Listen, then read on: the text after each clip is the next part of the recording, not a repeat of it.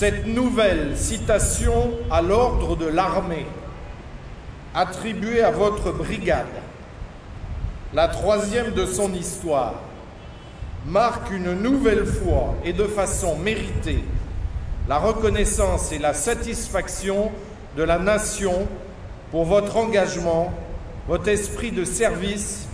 mais également le maintien d'une efficacité sans faille